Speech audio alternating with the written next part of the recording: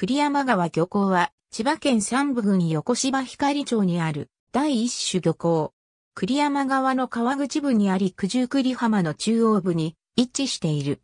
栗山川は現在直接海に注いでいるが、明治時代にはこの付近から折れて、砂丘列浦川を渚に沿って南下していた。その川床跡の本流と接する部分を仕切って、東漁港が設けられた。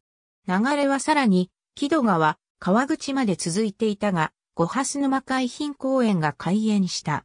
また東漁港の砂丘列を挟んだ海側が、マリンピア栗山川として整備されている。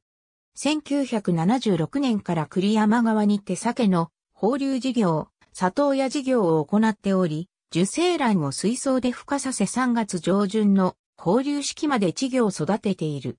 栗山漁業組合員が10月中頃から鮭の捕獲を始め、捕獲は12月まで続けられる。九十九里海岸のほぼ中央に位置する屋形海岸にあり、関係者護岸に整備されている。夏は海水浴客で賑わう。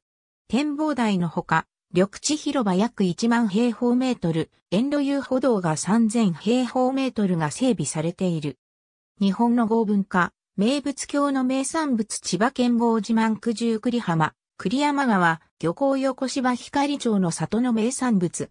jpsatobunka.net 2019年7月12日閲覧。AB 千葉県。栗山川漁港。千葉県。2019年7月12日閲覧。マリンピア栗山川公共施設案内千葉県。三部郡横芝光町公式ホームページ。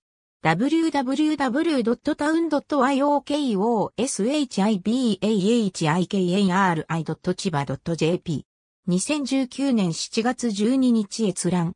千葉県観光物産協会。マリンピア栗山川。丸ごと、いい、千葉千葉県公式観光物産サイト。2019年7月12日閲覧。